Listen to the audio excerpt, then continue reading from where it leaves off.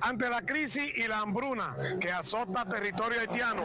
En el día de hoy, cientos de haitianos cruzaron por el paso fronterizo de Dajabón a hacer intercambio comercial, mientras que las autoridades civiles de esta parte de la frontera expresan que la frontera está en total tranquilidad debido a la vigilancia que mantiene el ejército dominicano en esta demarcación fronteriza. O sea, en este momento la frontera está totalmente en calma, totalmente en calma, ustedes la están palpando.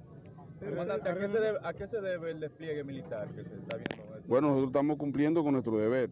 Si hay una situación eh, ¿qué debemos hacer? Actuar. Y la forma de actuar es incrementar el patrullaje. En estos días hemos estado reforzados totalmente con el Ejército Nacional y podemos decirle a todo el mundo, al país, que nuestro Dajabón está tranquilo, que por este lado la frontera está tranquila.